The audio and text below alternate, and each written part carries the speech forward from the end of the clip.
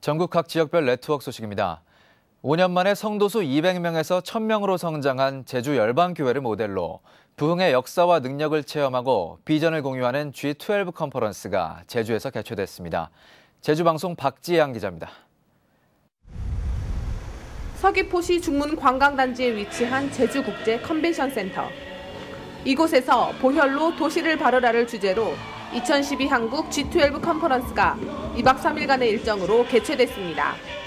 예수의 보혈, 예수의 피가 너희 인생 가운데 발라지고 너희 교회 가운데 발라지면 쉽게 하나님께서 이 땅 가운데 정복자가 되고 모든 묶임에서 모든 안 된다는 것에서 모든 패배감에서 모든 좌절감에서 일어날 수 있다라고 하는 그런 음성을 들었습니다.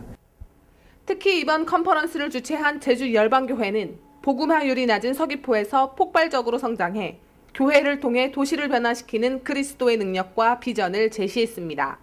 이렇게 안 된다고 생각하는 땅에서 이렇게 된다고 하는 희망적인 메시지를 들으니까 너무 기쁘고요. 또한 여기 참여한 모든 사람들이 또 그거 어, 전도와 또한 우리의 사명에 대해서 다시 한번 생각하는 뜨거운 시간이 되는 것 같아서요. 우리 모두 은혜 받는 것 같습니다.